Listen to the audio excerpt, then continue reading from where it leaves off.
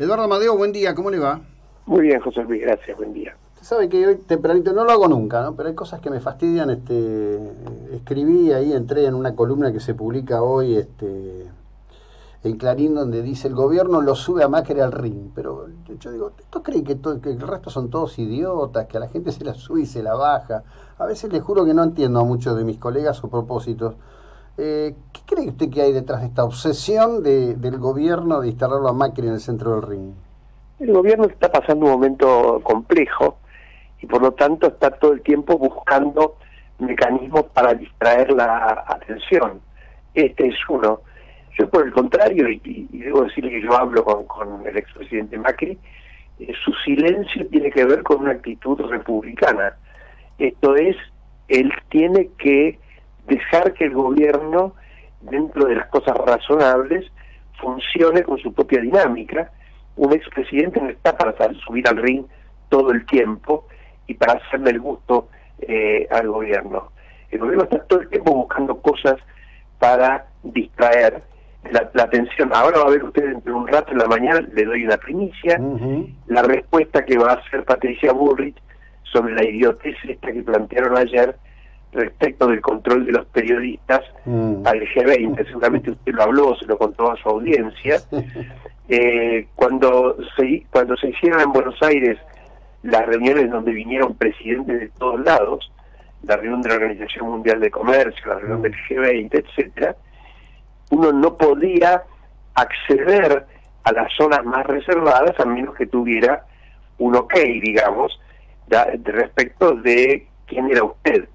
Por lo tanto, y esto se hacía de acuerdo con todos los países críticos de, eh, del mundo, de Estados Unidos y Rusia, China, etcétera, etcétera. Había una lista de personas que podían entrar y no podían entrar. Entonces lo que encontraron ayer en la ex de AFI es esos estudios que se hacían sobre las personas para ver si podían entrar o no podían entrar. No era un control ideológico. Bueno, pues de esa todo el tiempo vamos a ver. O sea, el gobierno necesita eh, eh, tapar el sol con la mano para que no se hable de los otros problemas que estamos sufriendo los argentinos, ¿no? Y de eso le toca a Macri, a quien quieren obligarlo a contestar para pegarle todo el tiempo, ¿no? Sí, es muy curioso. Mire, yo sí, por supuesto, hice una, una mención al inicio de este encuentro de hoy ante la audiencia, porque bueno, este, a diferencia de lo que decía Videla cuando le preguntaron por los desaparecidos y dijo que lo, que se ignora no existe, yo creo que lo que existe existe y hay que este, plantearlo y ponerlo en negro sobre blanco. Es más, hice una referencia porque hay una de las personas citadas, es alguien que se inició aquí en el periodismo, que hoy está en un medio nacional, y eh, frente a un título de un medio digital marplatense que decía eh, eh, uno de los posibles espiados, y él contestó en su cuenta de Twitter, posible no, me estaban espiando, es un presentador de televisión. El presentador de televisión es un tipo que hace título y copete, no es un riesgo para nadie en ningún sistema o circuito, y, es verdad, es hasta risueño, pero bueno, se, se, mezcla un poco todo.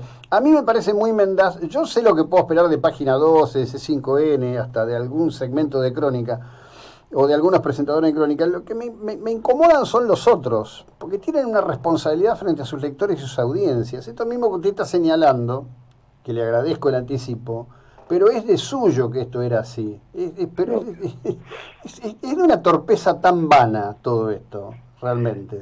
Totalmente, totalmente. Ellos este, están rascando el fondo de la olla, insisto, para distraer la atención.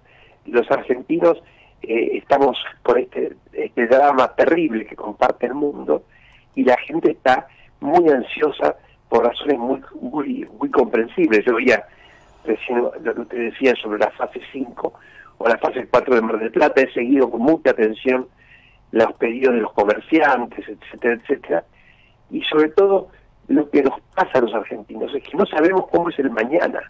O sea, ¿qué va a pasar? ¿Voy a abrir mi fábrica o no? ¿Me van a echar o no me van a echar. Eh, el otro día hablaba con un dentista, fíjese usted, y el tipo estaba desesperado, literalmente por no poder abrir su consultorio y veía que cada día se le agotaban los recursos. O sea, y esto son millones de personas. Bueno, pues frente a esto, por lo visto el gobierno necesita que miremos para otro lado. este, pero no, no, no le vamos a dar el gusto. Mire, ahí hay, hay, una cuestión central para mí en este momento. ¿no? Mar del Plata está libre de circulación de, de coronavirus.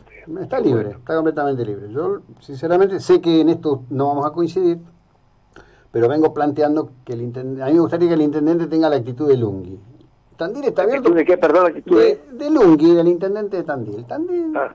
Lungi se paró y dijo, mire, esto hacia acá no hay circulación, esto está controlado, esto va a ir a la normalidad salieron a amenazarlo, trataron de rebelde, dijeron que iba a tener consecuencias, el tipo logró que Tandil esté donde está. A mí me parece en este sentido que los distintos actores tienen que ponerse más... Nadie está pidiendo que hagamos algo que termine matándonos a todos, porque esto sería propio de, no sé, de suicidas, ¿no? No, no, no, sé en qué contexto. Pero cuando hay un área como esta, que está libre de coronavirus, por ejemplo, y esto lo, pero lo, lo firmo con mi sangre, porque lo tengo recontra chequeado. Digo, hay que avanzar, hay que avanzar con, con, la gente, si no nos van a tener confinados. Esto ya excede la cuestión este, eh, de los protocolos este, sanitarios. yo, la verdad que no, puedo opinar sobre, sobre lo que pasa en Mar del Plata con mi amigo Montenegro, pero los detalles no lo sé. Lo que sí sé es que efectivamente es necesario llevar la imaginación hasta donde se pueda. O sea, y además hay tantas dimensiones, ¿no? La dimensión de salud física, pero también la dimensión de salud mental.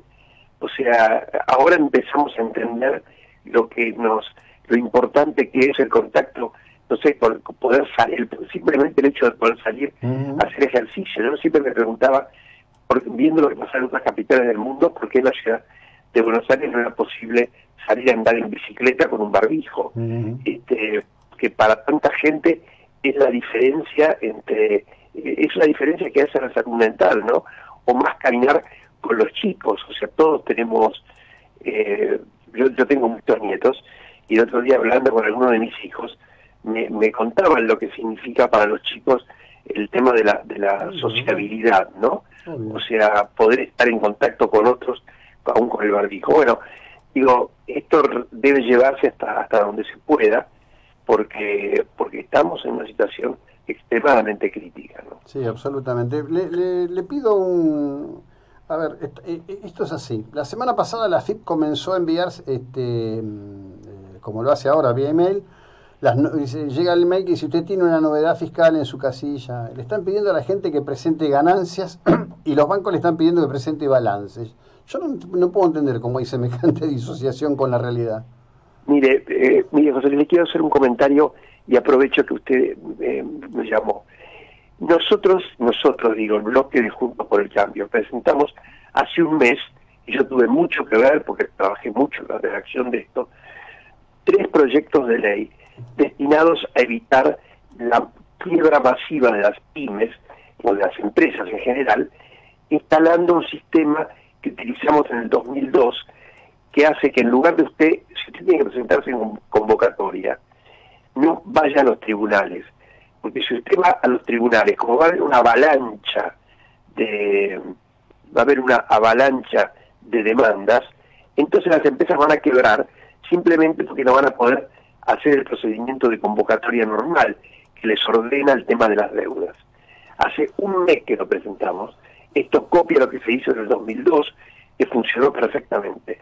No hemos logrado que en el Congreso el gobierno introduzca esto dentro de la agenda parlamentaria.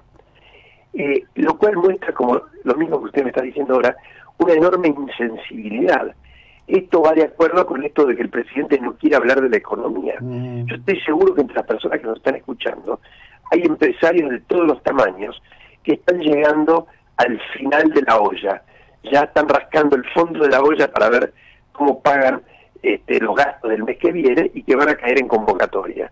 Bueno, no hemos conseguido, lo hemos pedido por todos los canales, que empecemos a tratar en el Congreso el tema de una reforma a la ley de convocatorias y quiebras, y no podemos.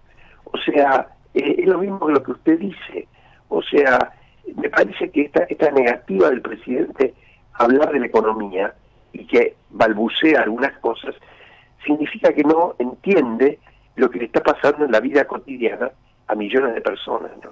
O no entiende o, tienen un propósito explícito, digo, porque... No, no, me parece que sería tonto querer que quiebren las empresas, porque además vamos a imaginarnos que por gracia de Dios, dentro de una semana aparece la vacuna. Y de golpe eh, todo se empieza a dar vuelta. El punto es que usted no va a poder recuperar la economía con las empresas este, heridas, heridas muchas, en muchos casos de muerte. Heridas de muerte quiere decir que tienen una gran cantidad de cheques rechazados, que no les alcanza para pagar los sueldos, que no pueden prender la luz. Y aunque la economía se mueva de vuelta, esos señores no pueden trabajar más. Por lo tanto, hay que resolverles el problema.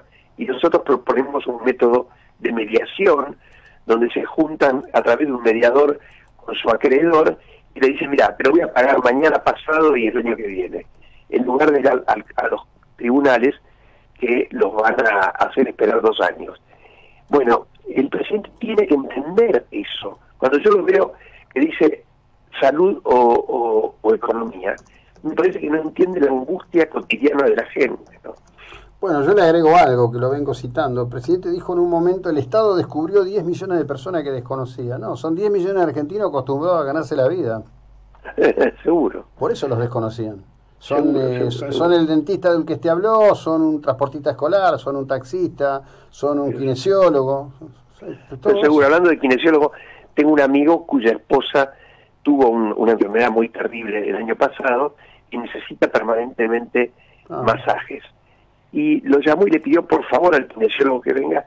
El kinesiólogo vino caminando 20 cuadras porque tenía que optar entre el taxi, porque él mismo tiene que tomar taxi, entre el taxi y la comida. Este, y, no es una persona que está en situación de calle. Entonces, eh, eso este, la cantidad de dramas que hay en la vida cotidiana de esta pandemia es espantosa. Ah, y hay que abrir el corazón, hay que abrir los oídos a lo que le pasa a la gente. Sí, yo estoy por escribirle a Marco del Pont, con quien en los tempranos 80, cuando queríamos salir de la dictadura, militamos juntos a ver dónde se le extravió el sentido común. No puedo creer que esté mandando estas comunicaciones de la FIP. La verdad, no, no puedo creer. Sí, sí, sí, hay que, hay que, hay que sentir más, hay que sentir más. Eh, como siempre, Eduardo, gracias, ¿eh? Muy amable. Gracias. Bueno, seguimos en un instante.